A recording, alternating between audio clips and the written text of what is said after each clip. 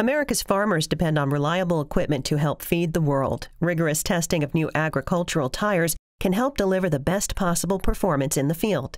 For example, engineers at Michelin Ag Tires conduct numerous tests to make sure new products can stand up to the most challenging of conditions. These tests evaluate how tires with lower air pressure and a longer footprint can reduce soil compaction, and they monitor traction performance by analyzing tire spinning and fuel consumption over a predetermined course.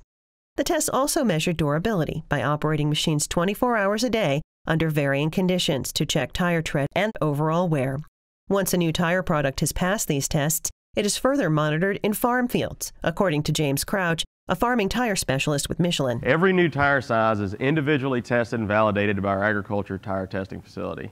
This process ensures that each individual tire is made to the absolute highest quality and suited for the application for which it's designed. To learn more, visit michelinag.com.